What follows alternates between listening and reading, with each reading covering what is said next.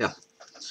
Ehm, de fire regningsartene, de har jo eh, består av en del begreper som, eh, som man må eh, kunne.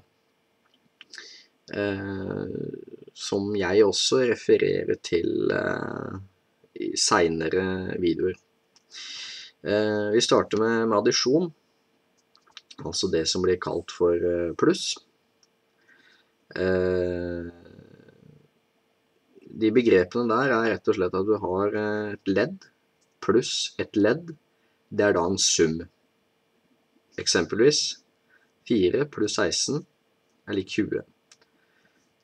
4 er et ledd, 16 er et ledd, 20 er en sum.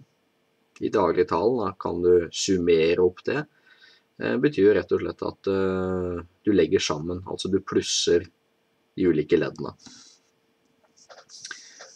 På subtraksjon så har vi også eh, ledd, men her er det da ledd minus ledd.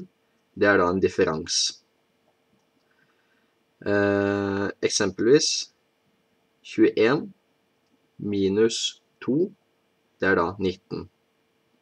Man kan da si at 19 er differansen mellom de to leddene.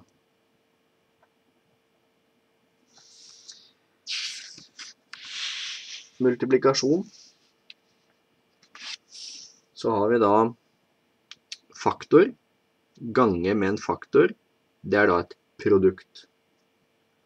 Eksempelvis 8 gange 4 er lik 32. 8 og 4 er faktorer, og 32 er da produktet av de faktorene. Så har vi siste, det er da divisjon. Eh, kan være litt vanskelig å se, men i hvert fall det er dividend deler på divisor er lik en kvotient. Eksempelvis eh, 30 deler på 6 er lik 5. Eh, 30 er dividenden, og 6 er divisoren. Eh, når du skal regne med divisjon eh, uten kalkulator, så er det viktig å huske på at divisoren aldri kan være desimaltall. Det skal jeg vise med en seinere video. Se divisjonsvideoen.